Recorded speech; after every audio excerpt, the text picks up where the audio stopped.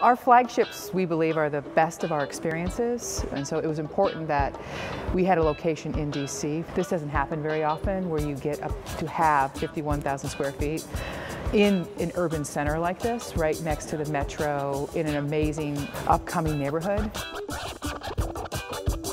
It's important for us to not just come from Seattle and expect that we can deliver the REI that we know in the Northwest in a place like, say, here in DC. Um, so we really want to understand the community, uh, understand what their needs are and expectations are for us to be joining their neighborhood.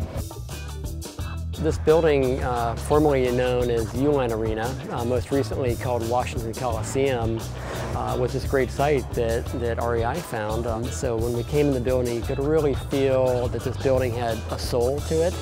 Um, and that's what REI likes, and um, I myself was really excited about it, of how could we um, turn this into a thriving retail experience um, while still showcasing some of that, that rich history the history of this building is, is something else, right? Uh, thankfully, uh, in partnership with Callison RTKL and Douglas Development, we were able to uh, really bring what was available in this space back to life. Uh, in particular, the original column supporting the barrel vault roof, um, as well as the basketball court flooring and stadium chairs.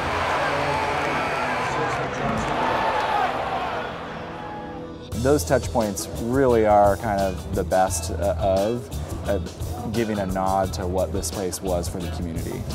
When we talk about localization, uh, you know, there is so many touch points, particularly at the product level, that really connects uh, the merchandise with place. Not only where to buy your hiking boots, but where to go and take them. Uh, or your favorite mountain biking trail here uh, in Washington, D.C. It's pretty exciting to see that connection uh, through primarily the in-store messaging and the talents of our team bringing that to life. It's, it's really pretty beautiful stuff.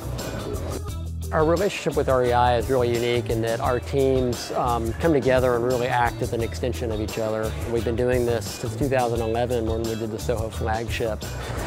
Um, but we're able to work together um, really for the last year to help them evolve what their retail experience would be and how that could address the customer needs um, really for this new era of bricks and mortar retail having that partnership, having this basis of design in the market concept and this idea of creating this place of discovery and these wandering paths and stitching our shops together in this amazing building has really been kind of amazing.